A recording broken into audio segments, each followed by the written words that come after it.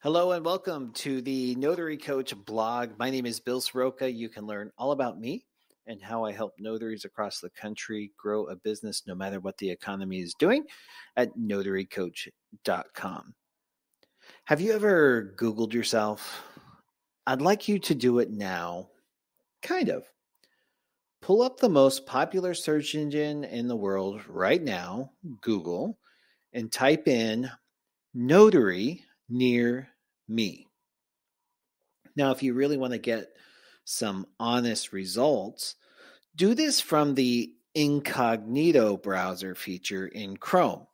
Doing so allows the browser to forget your previous browsing history, your cookies, and your biases, and pull up some true organic results. If you'd like a video about how to actually do that, just visit the Reader's Resource website that I created for my book at notarycoach.com forward slash 90 for 90.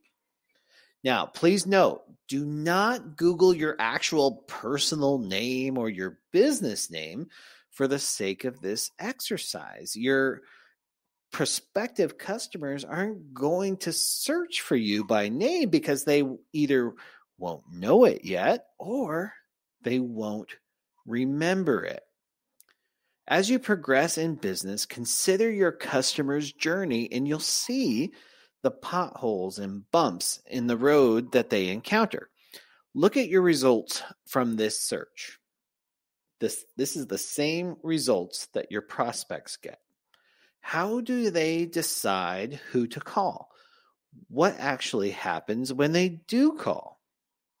This industry is ripe for innovation and for those with the courage to be the innovator. What opportunities do you see to help yourself stand out in the sea of sameness?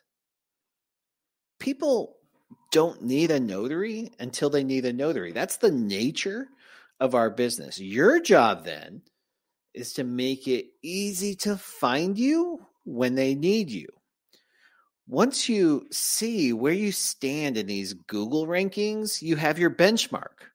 Are you in the top three listings, which is awesome? Are you on page one, which is amazing? Or are you further down the road? Are you on page 100?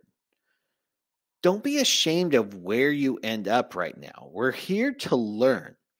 And just knowing where you are, this knowledge will help you gauge your search engine optimization efforts as you move forward.